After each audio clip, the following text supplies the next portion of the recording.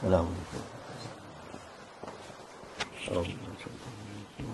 والصلاة والسلام على رسولنا محمد سيد الأولين والآخرين مدد يا رسول الله مدد يا سادة أصحاب الرسول مدد يا مشايخ الدستور ونشاء الله فعز أحسن شيخ محمد بن عفان مدد طريقتنا الصحبة والخير في الجميع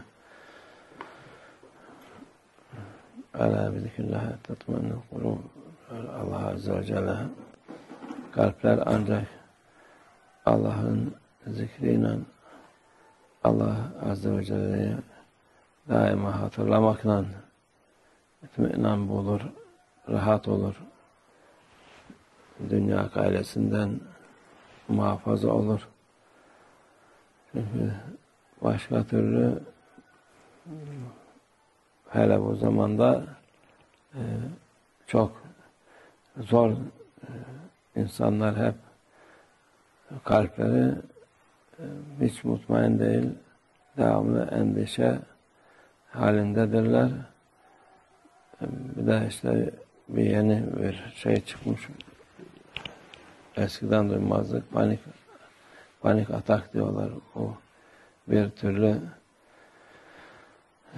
kalbin rahatsızlığıdır demek o. Yani kalbin e, rahat olsa ona e,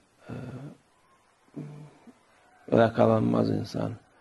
Onun için onun da ilacı Allah'ı hatırlamak, Allah Azze ve Celle'yi zikretmek devamlı ki bu illetten kurtulsun. Öteki türlü e, devamlı korku halinde, endişe halinde oluyor. Halbuki Allah Azze ve Celle bizi yaratmış, bizim rızkımızı e, içeceğimizi, yiyeceğimizi, giyeceğimizi hepsini vermiş.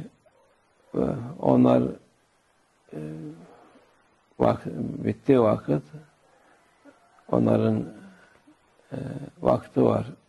İnsan bu kadar yaşayacak, bu kadar içecek, bu kadar yiyecek, şurada yiyecek, burada buraya gidip gelecek diye hepsinin Allah Azze ve Celle bize e, bunlar yapacağımız şeyleri kendi e, yaratmış. Onun için senin kayle endişe etmene gerek yok. Dediğimiz gibi Allah Azze ve Celle'yi hatırla, zikir demek odur. Allah'ı unutma, sen mutmain olursun. Her defa böyle bir kalbine bir şey gelince muhakkak Allah'a sığın. Hasbunallah ve ni'mel vekil. Allah der.